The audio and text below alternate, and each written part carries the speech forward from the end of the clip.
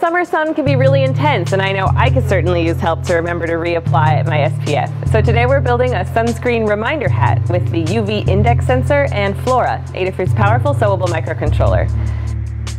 We'll stitch up the circuit with conductive thread, no soldering required, and then program it to play a song when you've been out in the sun long enough to need your protection renewed. Let's get started. Find a spot on your hat to build your circuit.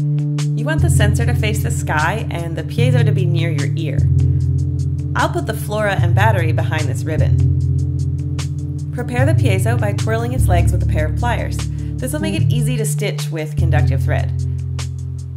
First attach Flora to the hat with plain thread, then start sewing conductive traces to connect each leg of the piezo and all four connections on the UV index sensor.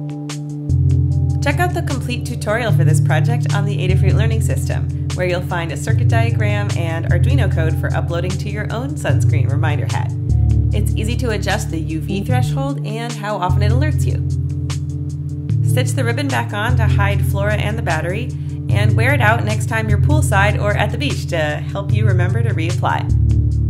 This open source project can help kick off your own custom hat. What features would you add? Maybe a GPS for tracking your sun-filled journey or a NeoPixel notification for using at a loud outdoor festival? Let us know in the comments below.